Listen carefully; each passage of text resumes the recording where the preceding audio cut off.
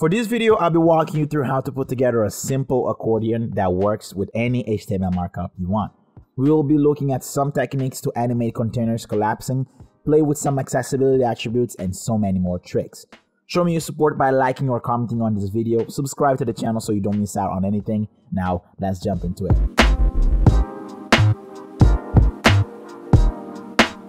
I have here a simple markup for this accordion and it is a div with class accordion and the reason it works with any markup is that we will rely on the class and not on the markup so we have these pairs of panel heading and panel content so there should be always one for one here where the panel heading will trigger the panel content to expand or collapse you can use any markup like a navigation menu with nested UL tags as long as you give them the right classes. On the CSS side, I have a simple style for the body to give it this nice gradient background and center everything. And as usual, I box size border box everything. Now let's start by styling the accordion container and it will be a 500 pixels wide container, white background with hidden overflow, round the corner by 5 pixels, some margin and no padding. Seems like I misspelled width, that's why the size does not look right. For the panel heading, I'll remove margin, give it some padding, some heavy gray background, white text, font size a little bigger, give it some bottom 2 pixels border, relative position it for some things later on, and give it a cursor pointer since it will be clickable. For the panel content, remove margin and height and hide overflow, and like that, all scene collapsed. The way we will mark expanded ones is with the active class, so when panel heading has the active class. And because the panel content is right after, we can target it with the next sibling combinator. But this is limiting as it forces you to have the content right after the heading and I'll show you how to fix that in a little. Then set height to auto, but without padding, it does not look so good. But if we set padding, the others are no longer collapsed. And this has to do with box sizing we set. For now, we'll leave the padding out, but I'll come back to this with a better solution later on. Now let's give it a visual indication that these panel heading are clickable with an icon.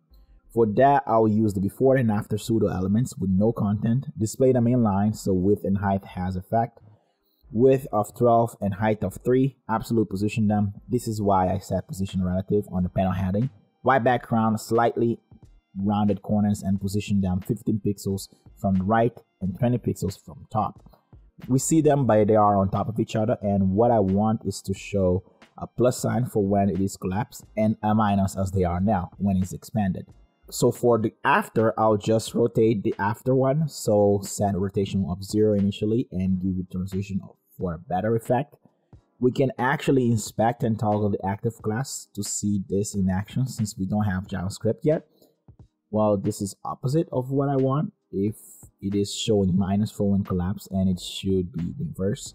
So we'll just have to set the degree to 90 for when normal and 0 for when active. With that, let's jump into JavaScript to take care of the magic.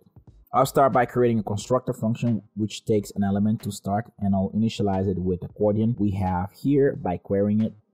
Inside, the first thing I do is use the element to query all the panel headings and content there is.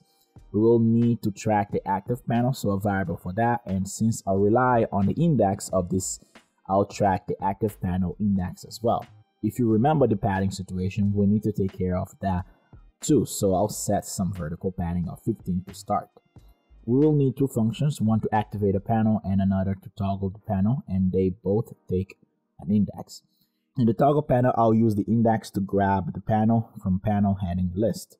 Now for each panel heading, I'll add a click event listener, which simply call the toggle panel with the index. Inside the toggle panel, I'll first check if the panel is different than the active panel and use the request animation frame to do any DOM change. We can leave this out and it would work, but the browser tends to be lazy when it comes to painting the DOM for any changes. And request animation frame makes sure we execute the code that makes the DOM change on next paint, which usually happens 60 times a second. I'll leave it out for now so we notice the problem. First thing we do is remove the active class from current active panel, then grab its respective panel content using its index and set height to zero. Same for the padding as well, and then we call the activate panel passing the index. Here all I do is use the index to access the panel and change its padding and height. For the padding, I'll use the vertical padding we set and set a horizontal padding as well. And for the height, then we need to get its scroll height. So even if the height is zero, the scroll height will tell you the height of its content and we'll add padding times two to that to take in consideration the padding on top and the padding on bottom since they are the same. Now I give this panel the active class and update the active panel with it and the active panel index as well. This one works still because we never set the initial active panel and index. And I'll do that by first removing any active class on the panels and if the index is zero, I'll use that panel as active panel. This is to make sure the active panel is always the first. Then set the active class on it and call the activate panel function. Now if I click on this, they just expand and collapse accordingly. I'll smooth this change with transition and on padding and height. Because this is a JavaScript heavy, even though there is a way to create an accordion with pure CSS, we don't want the content to be hidden in case the user has JavaScript turned off when visiting the site. So what I will do is make the accordion fully extended as normal.